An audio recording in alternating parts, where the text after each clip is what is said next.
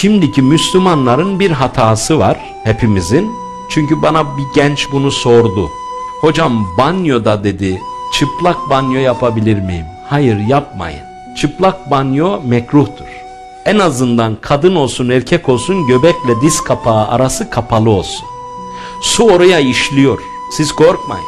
Bunu ben bir daha söyledim tuhaf karşıladı insanlar. Aa öyle miymiş dedi.